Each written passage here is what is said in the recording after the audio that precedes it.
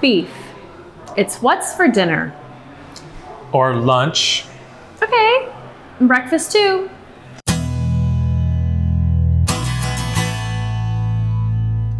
In this segment, we'll cover quality, cuts, grades, and doneness, as well as glean some expert tips from our own Chef Manny. Beef is the culinary name for meat from cattle, and humans have been dining on it since prehistoric times. Beef is the third most consumed meat in the world and is an excellent source of high quality protein and essential nutrients. It should come as no surprise that Americans account for much of the world's beef consumption. Fun fact, Disneyland sells more than 4 million hamburgers every year. No Crazy. way. Selecting quality cuts of meat can be confusing, and marbling is one of the most important factors during the process. Marbling refers to the intramuscular fat found inside the muscle. Just like marble, this fat appears like streaks and it's what gives the quality beef its wonderful flavor. While leaner beef is usually more tender, the lack of marbling drastically reduces its complex flavor.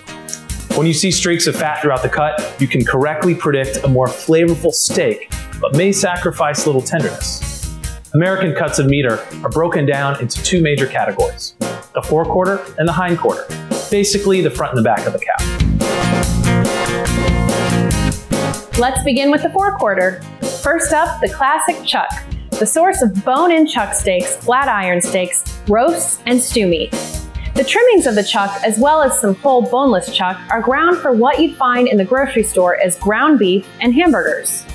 Just like the names imply, a chuck roast would be oven roasted, stew meat would be stewed, and steaks would be grilled. Beyond the burger, ground chuck is often ground up and used as a base in many dishes. Next up, the melt in your mouth rib. This cut includes part of the short ribs, the prime rib, and ribeye steaks. While the ribeye is less tender than other cuts, it has more flavor due to its wonderful marbling. Ribs can be roasted, braised, or even seared, and the prime rib is oven roasted. The brisket, hailing from the very front of the cow and mostly used for barbecue, corned beef, or pastrami. It is usually braised or roasted. In addition, smoking brisket is becoming more and more popular. The plate cut is found on the underside of the cow and provides the outside skirt steak used for fajitas, pot roast, as well as an additional source of short ribs. And if that weren't enough, this versatile cut is also commonly used to make pastrami. The remainder, typically tough and fatty, is usually ground with the exception of the hanger steak. Now the hanger, derived from the diaphragm, is the prima donna of the forequarter because it's lazy and just hangs around, get it?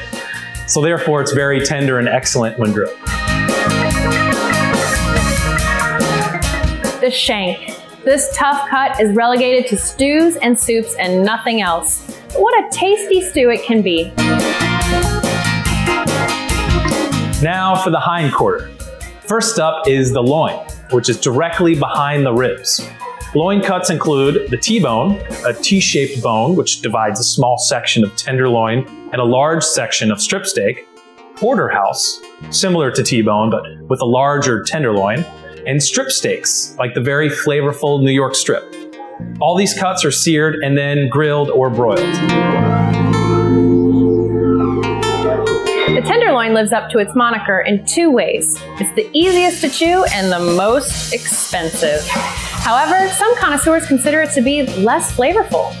Cuts include the filet mignon, tenderloin steak, and tournedos, a thick cut from the center of the tenderloin, all of which can be seared, then grilled or broiled. Fancier preparations include the Chateaubriand, which is a large center cut filet that is roasted, and the decadent beef Wellington, which is coated in pate, wrapped in puff pastry, and baked.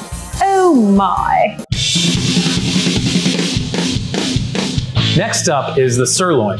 This cut is less tender but more flavorful and is further divided into top and bottom sirloin, which is even less tender. Cuts include top sirloin, sirloin steak, and the ever popular summer barbecue cut, the tri-tip. These are all grilled or broiled, and the tri-tip may be roasted.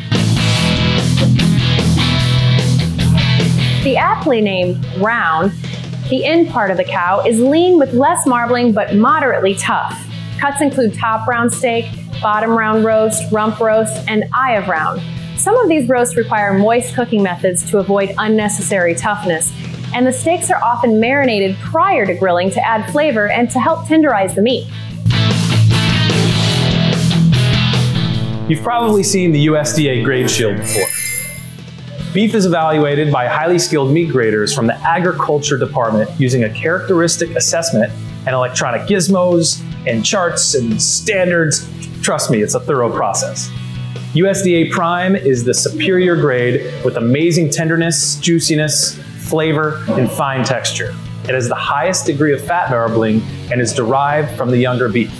That's why Prime is featured at the most exclusive upscale steakhouses. USDA Choice is the second highest graded beef. It has less fat marbling than Prime, but is still a quality steak, particularly a cut that is derived from the loin and rib areas, such as tenderloin filet or rib steak. Generally, USDA Choice will be less tender, juicy, and flavorful, with a slightly coarser texture than most Prime. This is the most widely available. Now, USDA Select is generally the lowest grade of steak you will find at a supermarket or restaurant.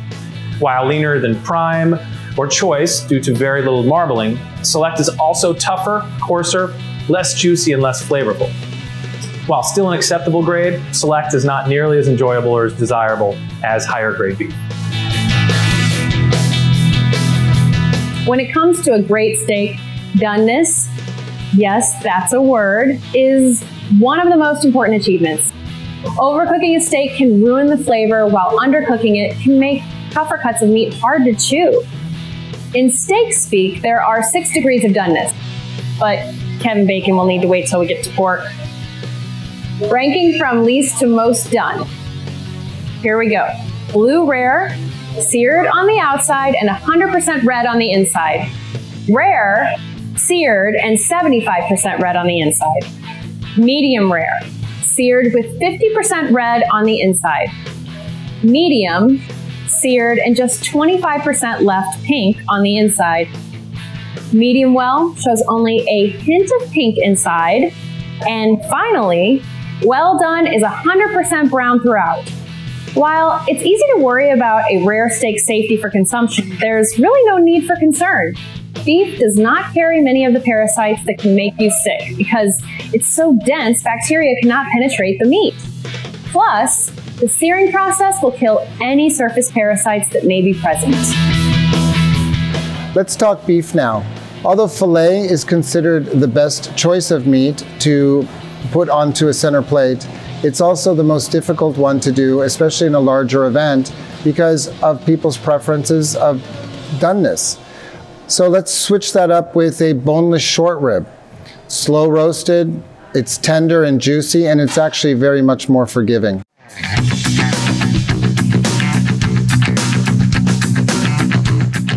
Okay, let's review.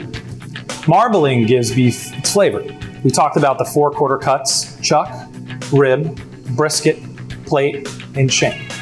The hind quarter cuts, loin, tenderloin, and the sirloin which are the most tender and expensive cuts of beef. The USDA grades its meat as prime, the superior grade chosen by most high end restaurants, choice, and select. Finally, doneness ranges from blue rare to well done.